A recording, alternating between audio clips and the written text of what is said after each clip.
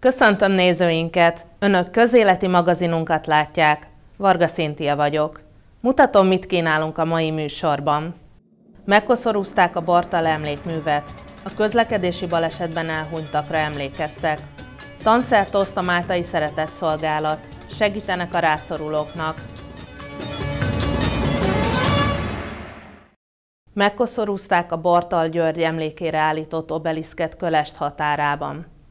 A néhai motorversenyző ezen a helyszínen vesztette életét 1936-ban.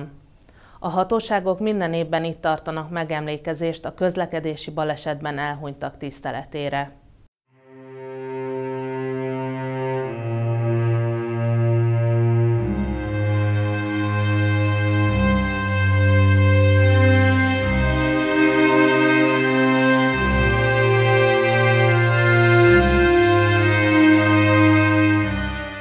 Megkoszorúzzák a Bartal emlékművet Kölezsnél a hatóságok és társszervek képviselői. A tragikus sorsú motorversenyzőre emlékezés mellett ez a nap lett a közlekedési balesetben elhunytak emléknapja itt Tolna vármegyében. 1936-ban, tehát 87 évvel ezelőtt történt ez a tragikus baleset, aminek a megemlékezése adott egy ö, számunkra egy olyan eseményt, ami tragikus esemény, azonban ezzel szeretnénk felhívni a közlekedésben résztvevőknek a figyelmét arra, hogy mindenki óvatosan a közlekedés biztonságnak megfelelően vezessen. 2004 óta a Tolna megyei, majd most már ugye Tolna vármegyei balesetmegelőzési bizottság 20. alkalommal tart megemlékezést Tolna megyében a közúti közlekedési balesetben elhunytak emlékére. Ez egy figyelemfelhívó rendezvény, hogy mindenki közlekedjen a közlekedési szabályoknak megfelelően, mindenki figyeljen oda a másikra, és ugye próbáljuk megoldani, hogy minél kevesebben veszítsék életüket Tolna megye közútjain, mind, mind ugye országosan, mind pedig Tolna megyében.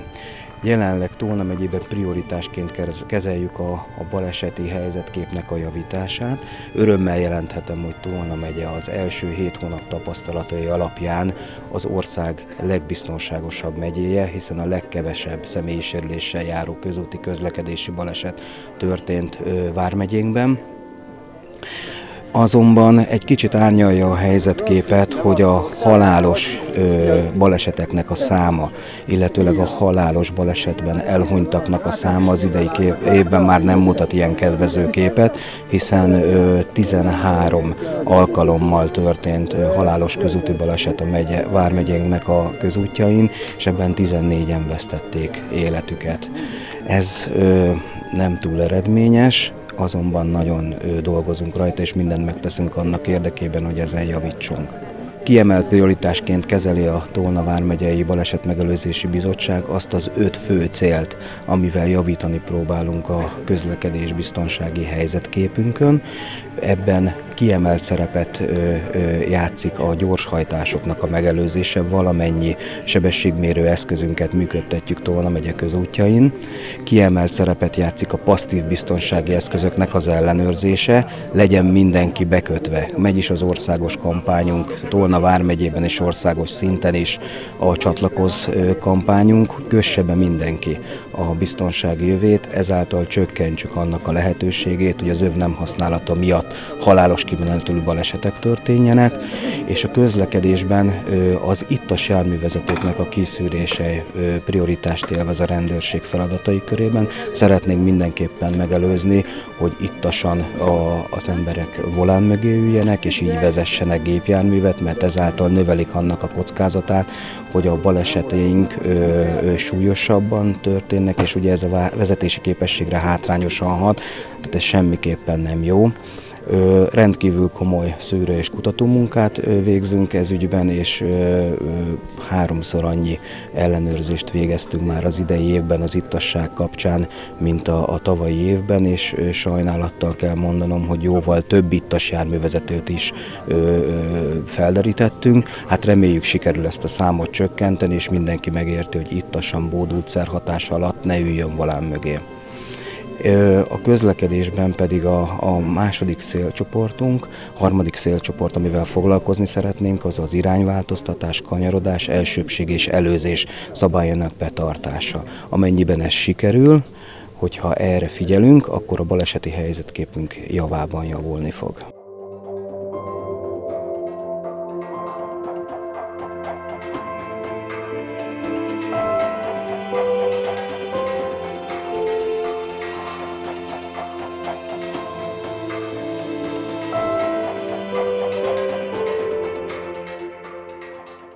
Tolna vármegye útjain 2022-ben összesen 301 sérüléses baleset történt, amelyből 18 tragédiával végződött. Ebben az évben az adatok azt mutatják, hogy talán a sérüléses balesetek száma kevesebb lesz. Ez idáig július végéig összesen 138 sérüléssel járó baleset történt, azonban sajnálatos tény, hogy augusztus közepéig ez idáig már 13 balesetben 14-en veszítették életüket. Minden egyes elveszített ember élet tragédia, az, azonban ennek ellentmond, hogy Tolna vármegye a legbiztonságosabb megyének, vármegyének mondható közlekedés biztonsági szempontból, hiszen a mi vármegyénkben volt ez idáig a legkevesebb közlekedési baleset. Nagyon sokszor jelezzük azt az állampolgárok felé, és minden nap közleményt adunk ki, hogyha baleset történik a Vármegye útjain. Ez pontosan azért van, hogy próbáljuk az embereket egy kicsit elrettenteni attól, hogy ne száguldozzanak az utakon, hiszen a sebesség túllépés miatt bekövetkezett balesetek száma a legkiemelkedőbb, csak nem a balesetek fele azért történik, mert valaki akár nagyobb mértékben, akár kisebb mértékben, de túllépi a sebességet. De az is elég szomorú tény, hogy még mindig sokan úgy gondolják, hogy a biztonsági öv használata csak egy választható opció, nincsenek vele tisztában, mekkora kockázatnak teszik ki magukat. Továbbra is nagy problémát jelent a biztonsági öv használatának az elmulasztása. Éppen a közelmúltban történt egy olyan fiatalokat érintő baleset a Köles térségében, amikor a három fiatalból, akik mindannyian megsérültek, ketten nem használták a biztonsági övüket a közlekedésük során.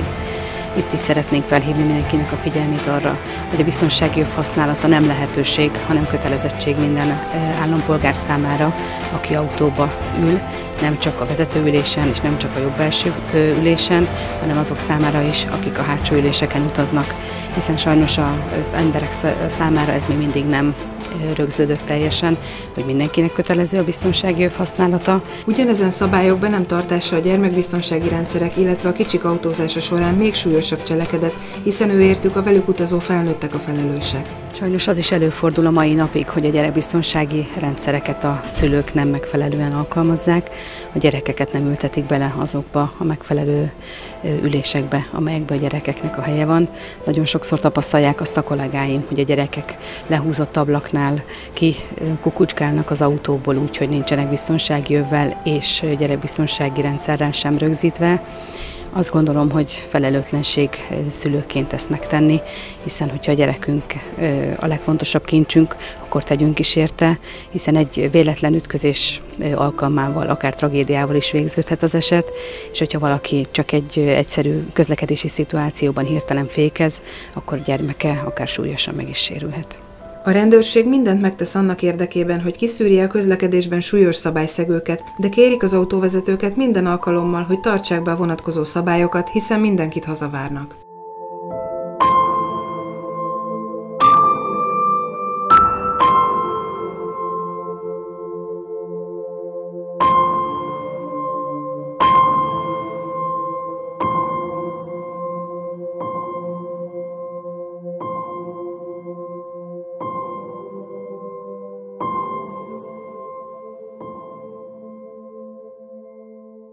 A Máltai Szeretett Szolgálat Szexárdi csoportja idén is megszervezte az iskoláskorú gyermekek számára a tanszerosztást. Szívesen fogadják a már nem használt iskolai felszerelést bárkitől, akinek már nincs rá szüksége, ugyanis ezzel rengeteg hátrányos helyzetű fiatalnak tudnak segíteni.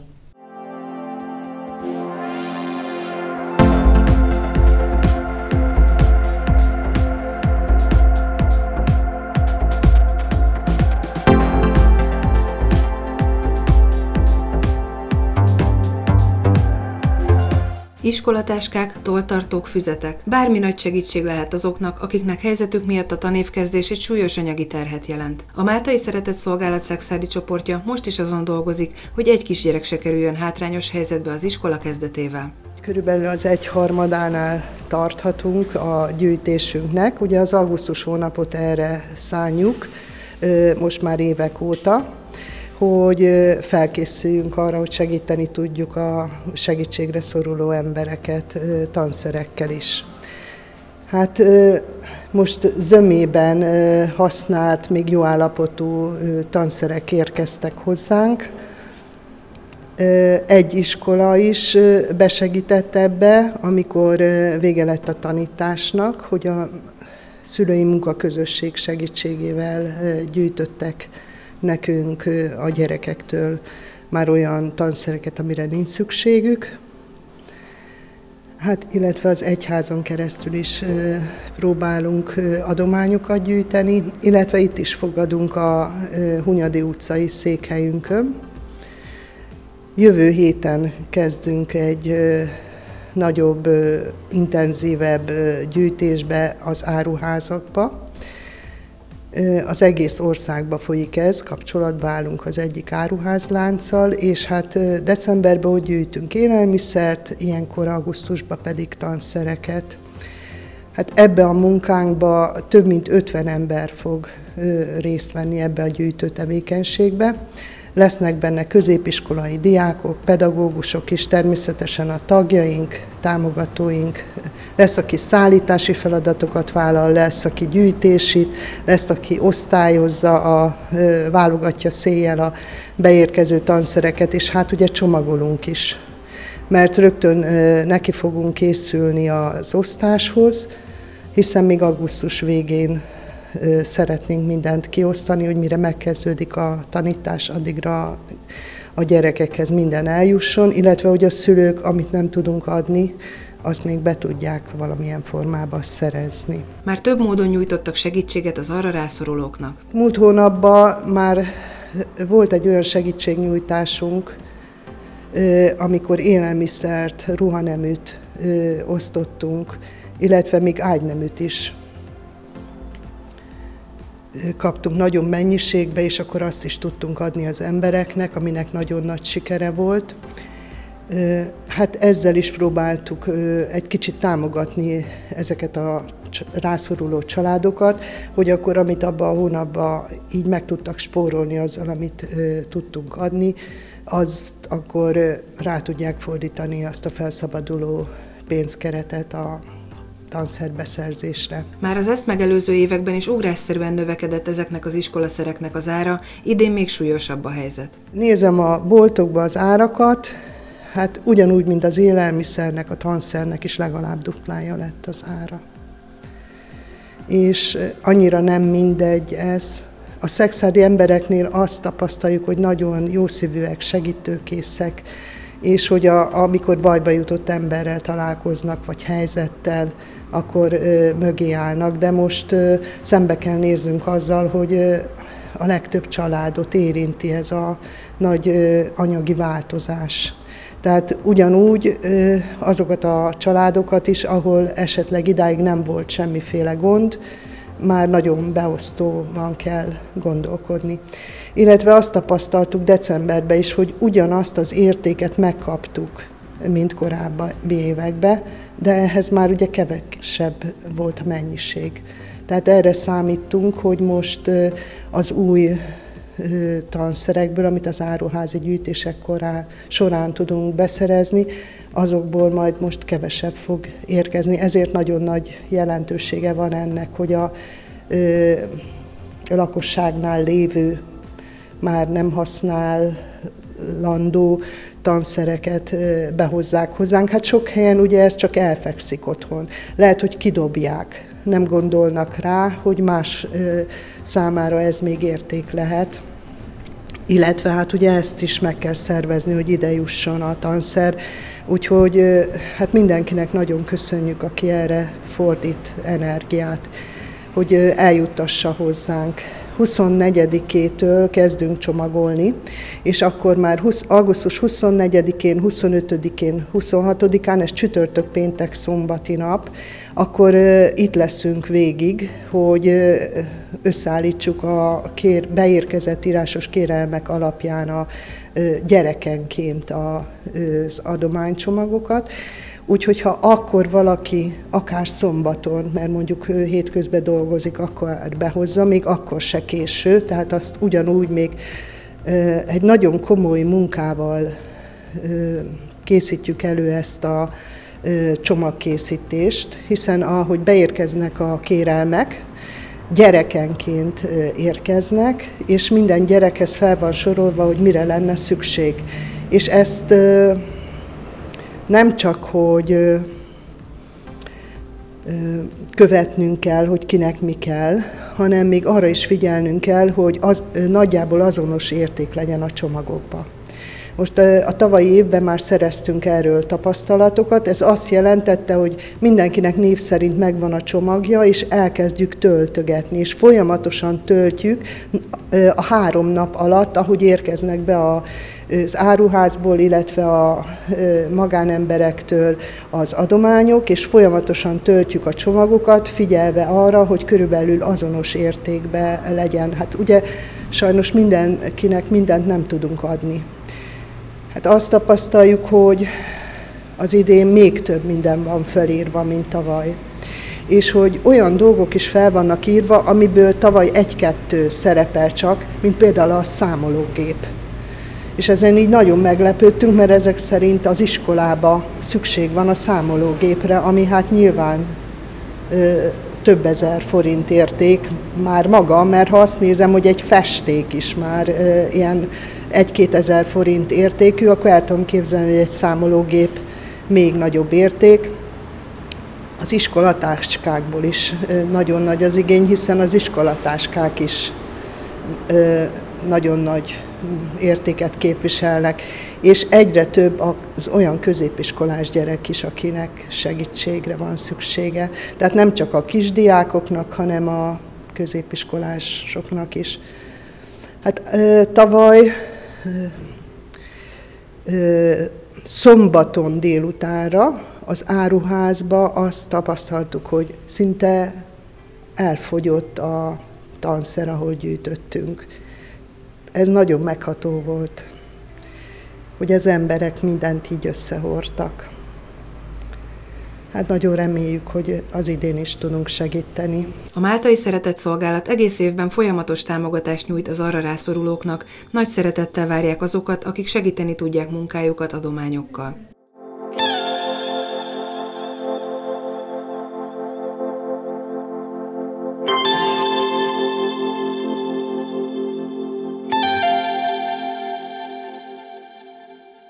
Az érettségizőknek nyújt számtalan lehetőséget a Tolna megyei szakképzési centrum.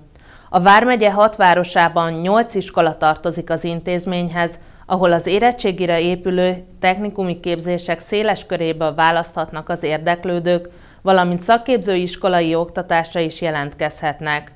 Csapó Gábor főigazgató elmondása szerint összesen 20 ágazat és 40 szakmai kimenet szerepel az iskolák kínálatában.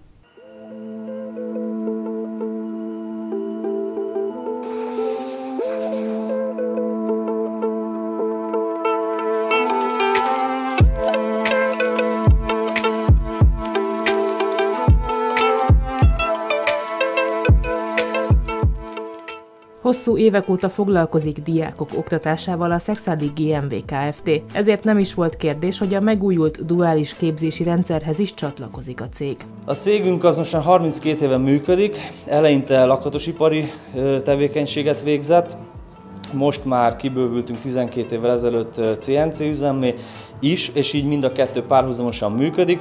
Hát főleg egymásnak dolgozunk be, gépeket gyártunk, egyedi gépeket gyártunk, de külsős munkákat is vállalunk, vannak kisebb-nagyobb partnereink, ezeknek a partnereknek mindenképpen kis szériában gyártunk, tehát mi az egyedi gyártás felé orientálódunk, mi ezt szeretjük, ebben van kihívás, ebben látjuk a, a szakmai kihívást, és ez, ez minket ez éltet leginkább. Hát most megpróbáltuk egy tanulóval, hogy ez az egész rendszer hogy működik. A könyvelési része, a tanulás, ugye itt azért a cégek felelőssége elég nagy, most van, aki érzi ezt, van, aki nem. Mi ezt próbáljuk maximálisan érezni, és felelősséggel tartozunk a, a diákkal kapcsolatban. Most itt ugye valahol azért Ez a képzés ez változott, mert eddig akik voltak tanulóink, ők két hetente jártak hozzánk, és négy napot töltöttek itt. Na most a forgácsolást kellett nekik valamilyen szinten megtanulni, de ezt az iskolában is tanították nekik. Most ö, gyakorlatilag a mi felelősségünk a, az elmélet egy tetemes része, és a gyakorlat egészében. Na most a, a vizsga az innentől kezdve úgy fog működni, hogy itt vizsgázik. És hogyha ő ügyes, akkor ő neki van egy interaktív vizsgája, meg gyakorlati vizsgája, és végzett a diák. Tehát ebből áll,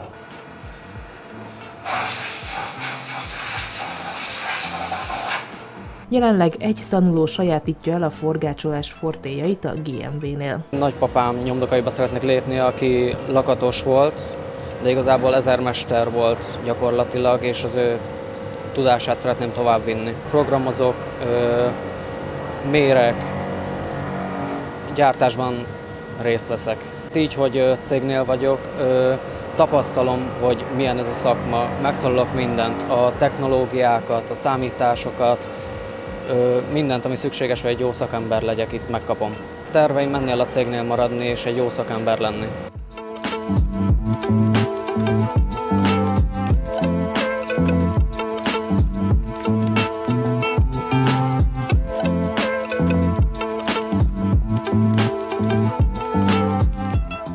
Ezt a, a képzést, ezt rábíztuk az egyik, hát mi úgy gondoljuk a leg hogy is mondjam, egy legsarkosabb emberünkre, aki mind szakmailag, mind a, a, a, a, az egész elméletet nagyon jól érti, és ezt ő át tudja adni a diáknak.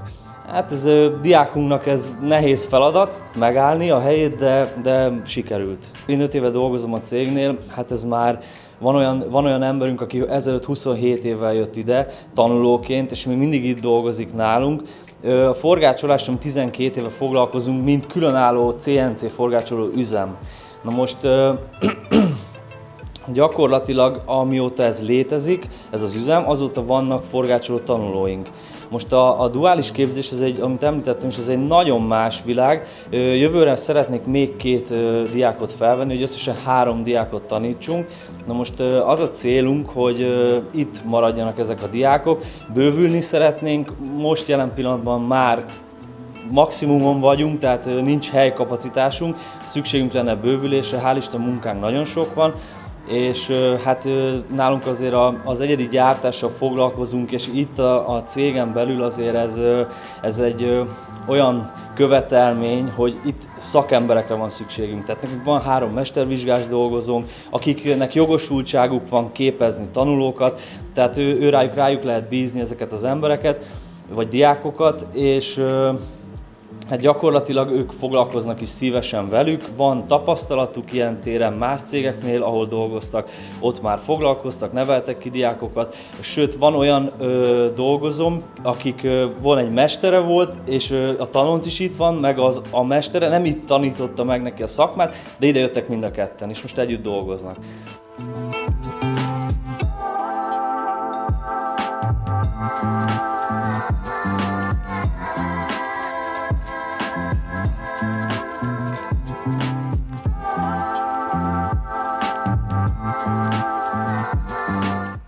Cégnek ugye ez azért érdeke, hogy mindenképpen a, a jövő nemzedéke szakemberek legyenek. Tehát ne, ne, ne azok, akik az iskolából kijönnek, és papíron tudják a szakmát, de valójában nem csináltak még soha semmit. Itt mindenképpen ők a szakmában belelátnak, dolgoznak, tehát ők gyakorlatilag, hogyha van rá lehetőség, akkor ők termelnek. Tehát ők, ők teljes értékű munkaerőként szerepelnek egy, egy adott cégnél.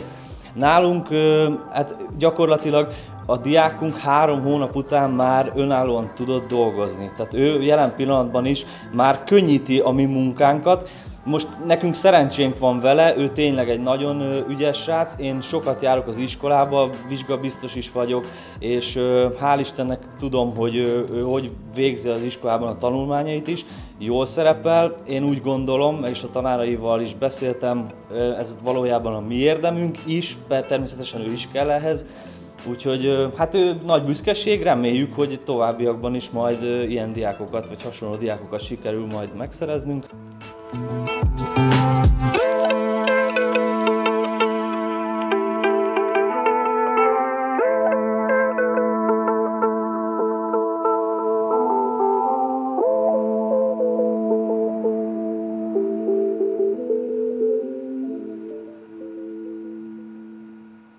Köszönöm figyelmüket, viszontlátásra!